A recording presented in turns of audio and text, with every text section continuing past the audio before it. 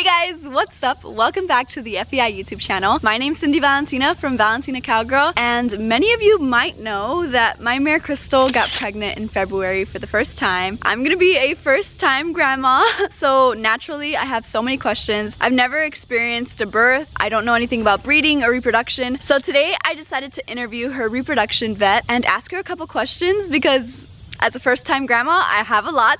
and if you follow me on Instagram, I also asked you guys on there to send me some questions if you guys have any questions for a reproduction vet. So you might see your question in this video. I'm super excited. I can't wait to learn. And yeah, let's head on over.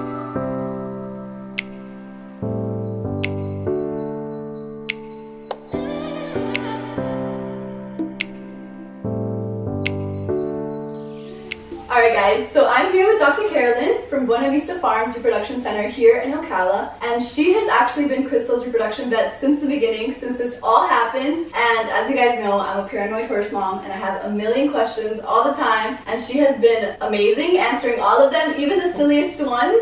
so I'm gonna go ahead and ask her some more and you guys also sent in some of your questions so yeah, let's go ahead and get started. Are you excited? I'm very excited. Awesome, let's do it. So a lot of these questions might seem like common sense to some of you guys, but this is kind of like a beginner version of this. So there might be some questions that need a little bit more detail and some that you guys probably already know the answer to. So I'm going to start with the first question and it is how long is a horse pregnancy? Well, the average is 340 days, which is approximately 11 months. But horses are very different from most other species in that they can go very much longer and it can be normal and they can go very much shorter and it can be normal. Is it normal for them to like reach a full year? Not normal, but it happens. Like if it does, that's something... It can still be a perfectly normal foal. Um... The tricky part is trying to figure out exactly when they're going to foal because you do have like this month window that's normal. You can't just say, okay, she's due that day. This is when I'm going to watch her. Yeah. It doesn't work out. Like you said, we should usually do it like two weeks before, uh -huh. like have the horses in. Yeah. Um, another question is, do mares show any pregnancy symptoms? Like if you don't know that they're pregnant, do they show signs? Like you know how humans get morning sickness, yeah. all these other things. I don't know about the morning sickness. I've never noticed that. A lot of times you'll find that they get easier to deal with because they have high progesterone levels, which is kind of tranquilizing. Oh. So mm. people will say, gosh, this mare used to be such a, you know, hard to deal with and now she's so laid back. It doesn't always happen, but that's one thing I've noticed. Oh my um, gosh, that's yeah. so interesting. You would think that they would get more hormonal, right? Yeah. Like more emotional and stuff. That's like, no. no? It seems like it's a more of a steady increase of the progesterone that makes them more laid back. Um, can you ride a pregnant horse? A lot of people had this question, and I had this question too in the beginning. I had no idea. I just assumed, oh, they're pregnant. You can't ride, but... Absolutely, you can ride them. If they're used to being ridden, if they're in shape, keep going with what you're doing until, I would say, the last three months and then I would, I mean, you can probably ride them easy, like just walking around. Yeah, like can't take them no barrel races or jumping shows and stuff like I, that. Yeah, I wouldn't start like a whole new training regimen while they're pregnant, but if they're in shape and you're already doing stuff with them, there's really no reason to stop. I even have a few racehorse clients that race their mares pregnant. Really? Yeah, but it's, it's getting kind of rare. Oh my gosh. I would be too paranoid to do that. I can't. this one's one that's super interesting. I've asked myself this so many times, and a lot of you guys ask me too. Like, a lot of you guys want me to do a gender reveal, but I don't think that, can you? Can you tell? It is possible. It is? Um, but there's a very specific window, like you have to be within 65 to 67 days pregnant. And then it takes a lot of, like I don't personally do it, there's people in Ocala that do. Um, they need a special ultrasound and they can tell you. You can do it again later too, like when they're five, six months pregnant by going transabdominally oh, okay. and, and looking for the actual parts, you know, like you do in a human baby. Yeah, that's actually how I thought it worked when I came for her first ultrasound. I was very surprised to find find out that it wasn't really like that, but yeah. that's very interesting. I didn't know that. Yeah. I think I would like to mm-hmm. wait until it's born, you know? Like, I like the surprise yeah. and stuff. I mean, what's the point? You don't, you yeah. can't change it. And they do it in the thoroughbreds sometimes because when they sell the mare in oh, the auction, they yeah. want to know if she's carrying a colt or filly. So oh. that's really the only reason, or curiosity. I, I prefer a surprise, but I don't know if I'd feel that way about human baby. I think I'd want to know if like I was having a girl or right. But my horse, I think it's more fun. Do you still, if ever, this is a fun question, get grossed out? I really don't. Don't? There's, there's really human things gross me out. Oh my god, Like if I saw your broken arm or something, that would probably gross me Yeah. out. That's so true. Like horse stuff, horse poop, none of that grosses me out. But like dog poop or like human stuff, it's true. yeah, I can't. like you get used to a specific way. I think that a lot of horse owners aren't like that. Like I wipe my horse's eye boogers with my hand. Like I, my mom tells me all the time, she's like, put gloves on. But I'm so used to it. Yeah. I just don't mind. How long after a mare has given birth can you start riding again? Uh, that's a good question too. I mean, your your main thing is you're going to have a baby by your side. Mm. So until the age where the baby gets weaned, it's kind of hard to ride the mare because you have to take Yeah. the baby along, or Mhm. she'll get all upset. So I think physically she can probably get ridden again pretty quickly. Oh really? Yeah, What is like the most common? Like what do people do until the baby's weaned? yeah. A lot of people don't ride their horses anymore once they're pregnant anyway. They just become brood mares. You know, it's like their next career. Okay. They take them out of circulation so long. If they are really good show horses, what they usually do is do the embryos. You Oh, the embryo actually- transfer. Yeah. Okay. This is actually uh, related to that question. After birth, does a mare's body go back to the same way it was before pregnancy? Like the conformation and all that stuff, is it the same as a mare's who's never been pregnant? I think if it's a single pregnancy, she probably does Go pretty much back. Go back. But if you have a foal every year, they start getting that broodmare look with the big belly, Okay. and it's hard to get that back into shape. I think this is going to be Crystal's only pregnancy, Yeah. so hopefully she Yeah. just goes back. and you know, in first pregnancies, they usually don't get as large anyway, so Okay. she'll probably get right back. About how long is labor? Um, extremely fast compared to humans. Um, Oh, really? By the time you notice labor, which is already stage two, because the first stage is pretty silent, you don't notice it. Pretty much 20 minutes. Really? Yeah. Oh my gosh. Yeah, No wonder so many people miss it. Exactly. and it's a lot easier than humans. Believe me, I've had a child. Oh, yeah. I know how that is. oh my Um, gosh. for the most part, it's a lot easier, and I think it's because horses are so streamlined. They're not so hard to get out as like a big Mm. round human head. True. Can you tell the color of a foal before it's born? No. Again, even if you could, I would like to be surprised. You know how when humans are pregnant, there's certain things you can't eat, there's certain creams you can't put on. Is it the same with pregnant mares? Uh, that's an interesting question. I, I don't think so. No? I've never come across that where a mare is all of a sudden not tolerant of something. As far as things that would affect the fetus, uh, the baby, yes. You know, like medications that you wouldn't want to get into the baby's bloodstream, like hormones or steroids or things like that, yes. But not like food anything like that. How about like dewormer, No. uh, colic, sup- uh, sand colic stuff, Yeah. supplements? No, I mean there used to be a big thing with wormers years ago because there used to be a lot more stress on the system. Nowadays, the modern wormers you use them just like you would if she wasn't pregnant. Same with most vaccinations. What is the safest age for mares to get pregnant? Like, what is the ideal age? I would say definitely not before three. I feel like they're still babies before Yeah. three. I can't imagine. And then you don't want to wait too late because then it gets harder to get them pregnant. So I would say mm-hmm. at least by the age of 10. Okay. Yeah. Do you think horses know they're pregnant? yeah. You're asking me to be a horse I know, whisperer. well, I'm gonna put my opinion out there. I feel like Crystal knows. yeah. Like, I'm just probably being like crazy, but like when I bring her in for her ultrasound, she walks right in, even though she already knows what's gonna happen. I feel like I don't know. I, I don't know. I might be crazy, but I feel like she does. They probably do to Yeah. some extent, yeah. And then the mares that have had babies, Yeah. they know what's about to happen, I think. You know, Mhm. they're a lot more relaxed than the mares that haven't had babies, you know, so that at least they learn. Yeah. Remember. Yeah. Do you have any crazy foaling out stories? Like, what's the craziest thing that's ever happened? Oh, man. You probably have a lot, right? I feel like things go wrong with horses all the time. I've been doing this for 25 years, so there's a lot of Oh stories. God. One of them that I can remember was at another farm. A client of mine called me up and she said, "You know, is it possible to have just a placenta and no baby? And you know, the placenta is the afterbirth, right? Yeah. Like, so they Oh my gosh. they went out in the paddock and the mare was there and there was this afterbirth, but there was no baby. Oh my gosh, And I said, I said, no, that's not possible. There has to be a baby somewhere. so um, they looked, they looked everywhere, and they found the baby at the next farm, sitting in a field. Oh And what, what had happened was that she was in a paddock at night, foaling by herself, which you're not supposed to do anyway, but and she foaled under the fence. Oh. So the baby was born on the other the side. side of the fence.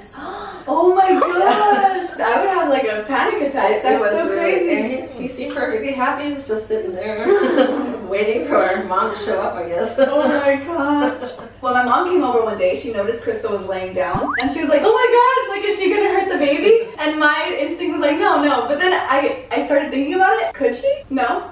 And actually, they'll start laying down more when they get heavy and full because they, you know, they get tired. You'll see them just lay flat out. You know, instead of like God. sitting up, it's probably more comfortable to lay flat out. Mm. to Get the belly out of the way. Yeah, because you think horses are so big and heavy, like, and there's like a little thing inside of them. Like, how could they not hurt them? But nature, you know, done it for millions of years. So, what is the most common reason for miscarriages in horses? These days, probably the most common one is infection. Endometritis is what they call it, where the placenta gets infected. Because horses are in an environment where they tend to be around a lot more dirt and bacteria, there can be an uh, infection that comes through the cervix into the uterus. That's probably the most common, especially older horses. The older the mare is, the more likely she's going to have problems with that. Sometimes they start out with a mild infection when they get bred, and then they It just, yeah, develops. Is it possible for horses to have more than one baby? Well, twins is a big problem for horses. They most of the time can't carry two. They don't have enough room, so then they end up miscarrying if they end up getting two. So So it's super rare, right, for yeah, I mean to be born? nowadays because we have ultrasound, we can tell if there's two and we can get rid of one. So. Oh, But you have to do that really early, like at 14 days. My neighbors had a set of twins.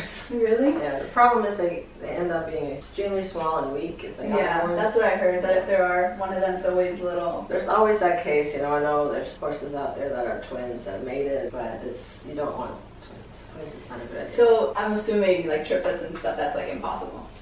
I've seen triplets on ultrasound. No way. Yeah, but that's very. Oh my gosh. Yeah. That's shocking. I would have never imagined because I don't know, horses are just so big. I can't picture more than Yeah. one. You don't have enough room. What happens? This is actually a question that I wrote down. What happens to the umbilical cord once the baby's born? Like you know, in humans, you have to like tie and then cut. How does that work? In humans, if you didn't have scissors, it would just fall off on its own too.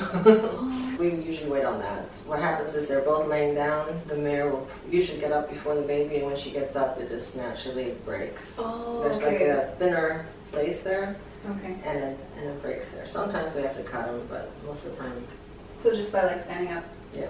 Okay. What are some myths about equine pregnancy? Are there any? I feel like I haven't heard any myths or anything. I think. I mean, there, there is that thing about if you make your mare pregnant, then she's going to be, like, some people will do that to calm them down. Oh, really? Yeah, and like I said, I think it works with the progesterone in some cases, but I don't think it works, like, after they're done. You know, they think it calms them down oh, for life. for life once they. have. Yeah, I don't think that works. I can't think of anything else. I've never heard of that one. There's um, all kinds of crazy things with, in certain breeds, people want to have either a filly or a colt, and so they have all these ideas on how to make that happen. Mm-hmm. Oh my god. like, like if I give them like this, put vinegar in their food, they're gonna get more. They're gonna more likely to have filly. You know. Oh like my gosh. Those kind of stories. what are the signs that a mare is ready, like that she's about to foal out? also very variable. And in Okay. maiden mares like yours, sometimes they don't show you anything. Mm. But the most normal thing is their udder, their bag, as we call it, bag, gets bigger, starts filling up with milk. So you need to keep an eye on that. It starts slowly, like three weeks before, and then gets really full a couple days before they're ready. Okay. They have muscles that relax along their top line, where the tail is, all those relax. Relax visually, like you'll you'll see it Yeah, different. and if you touch them too, you can see that everything. It's, it's the ligaments that are, you know, getting longer. The tail gets relaxed. Mhm. If you move it up and down, it's just. And then when they're very close, mares are supposed to have what they call wax, which is Yeah, I've heard that, but I never understood what. it's just basically little droplets of milk at the end of their teeth. It's very thick, so it looks like wax. That's like an indication that it's going to happen in the next two days. Oh wow. But there's a long lot of mares that never wax, so you can't count on that either.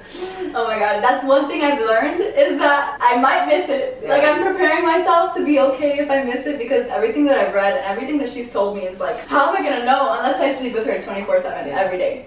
For Which two weeks. I might do. Yeah. You never know. and then you go to the bathroom, and then she Mm. has it. Yeah. and then they get they get restless. They'll start walking more, and pooping more, but sometimes they don't show you. I hope Crystal shows me something. I can't miss it. Well, you know her so well that Yeah. you may be able to tell better than somebody else. You know, True. Are there more risks to maiden mares? definitely.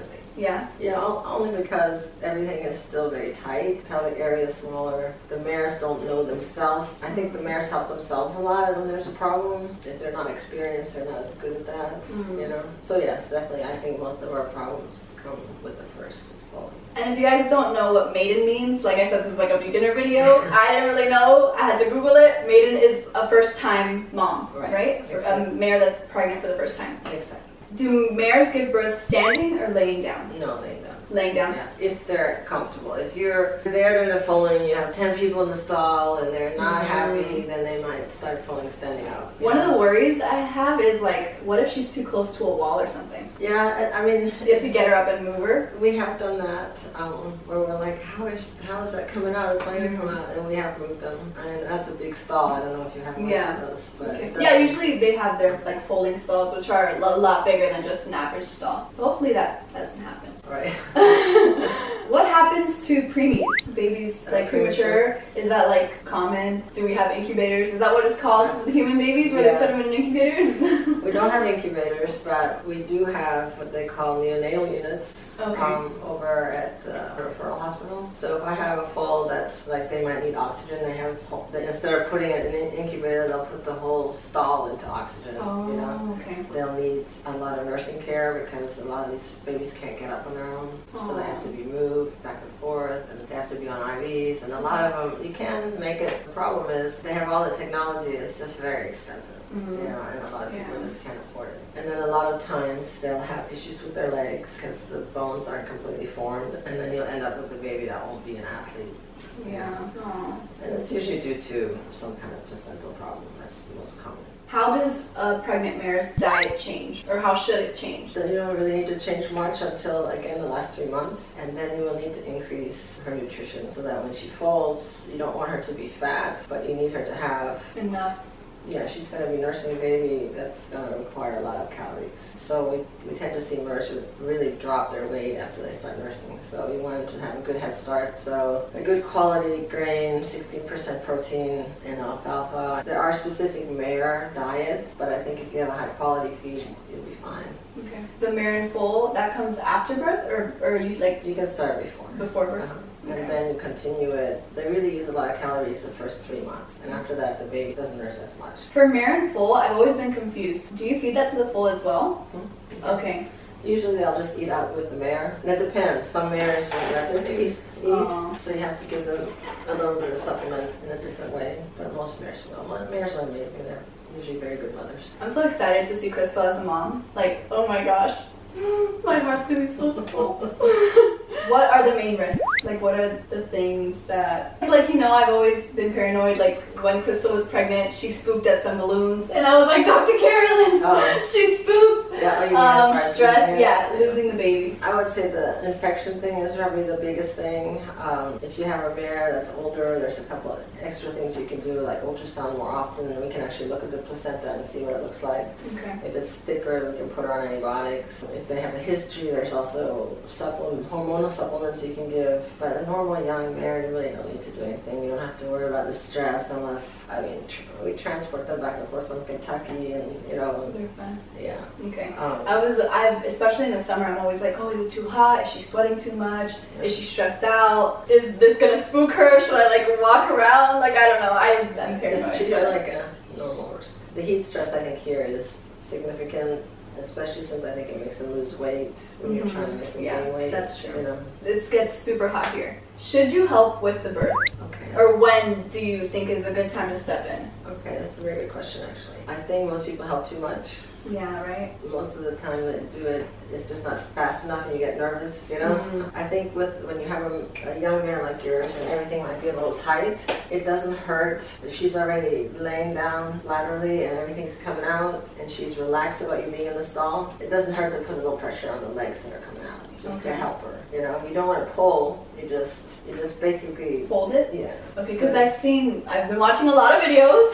I heard that once the nose is out, you shouldn't let it come back in. No, that's. No? Or if the, is the bag? What is Yeah, it? Is that what it's called? The amniotic sac, The amniotic sac. If it's open already, it doesn't matter if the baby goes back in. Like, it doesn't really matter at all because what, what happens is until the baby is all the way out, it's still getting its oxygen through its umbilical cord. Okay. So you don't have to worry until the whole placenta comes out and the baby's out. You don't you don't have to worry about that. Okay. What does happen is if you have a dystocia, which is a problem foaling, and the baby just can't get out, the umbilical cord can get squished against the pelvis, oh. And that's how they lose their oxygen. They suffocate. Yeah. So if everything's the, uh, right, like the legs come out like a swimmer, Yeah. like that. I've been learning that stuff, Dr. Carolin. I've been doing my research.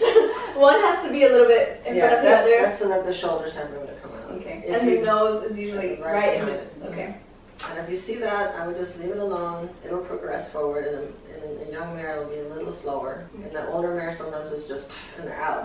so, Okay. but sometimes if you go in there and you want to help, she gets up. Oh. you know, because she's nervous. nervous, yeah. Sometimes it's better just to. and if there's a lot of people too, it's probably. In nature, I think they would rather just do bumps. Mm-hmm. Is there a danger if there's a size difference between the stallion and the mare? Like if you have a draft stallion and a like quarter horse mare, Yeah. is it possible for the baby to be too big for mom? They used to tell us that mares are very good at adjusting the weight on their babies, as opposed to cows who have a lot of big problem with that. Um, But I think there is a little bit. I mean, I don't think I would breed yeah, I wouldn't. It's a really small mare to a really large stallion. Just to be safe, I feel like that's like And there seem to be some mares that just have big babies, no matter what you breed to them, and they have a little bit harder time. Is C-section something that happens in mares? So if I have a really big problem, and I usually know, and this happens every year, um, if we foal out 80 babies, I probably have one or two that are going to be a problem. Okay. So I usually know, like within 10 minutes, okay, I can go in there and feel like sh- that something's not right, like there's the head's back or one of the legs is not in the right position. We hook up the trailer and we take her down the road, and they may either do a C-section or they can just anesthetize the mare, and that way you don't have all the contractions, and they can manipulate the baby better that way and get it out. Okay. Like is the baby still viable if the mare passes away during labor? Yeah, if it's fast enough. Fast. Okay. God forbid that happens. Yes. Um, is it better for a mare to foal out in a pasture or in a stall? I think it depends on the situation. If you have a really nice pasture and it's clean and there's not manure and fire ants everywhere, pasture is just as well. Okay. Um, the problem with the pasture for me is that you don't have any lights out there. Oh yeah, so you can't see what's going on. If there's a problem. Yeah. Okay. But it is clean, you know, especially compared to some barns. It's cleaner Yeah. out there than it is in some. That's true. Do the babies kick the mom inside? I've seen it. Yeah? Yeah, I've seen them. Oh my gosh. If the day I see that, I'm gonna freak out. Does the mare feel it? Like, obviously, yeah, but do you think it's painful for them? No, it's just uncomfortable. They get very uncomfortable at the end. Okay. Especially when it's hot out. So they get miserable just like humans. Like, oh my gosh, this is so heavy. I wonder if, like, I put my hand on her belly during the end, if I'll, like, feel it. You know? I'll just stay there all the time just to get one little kick.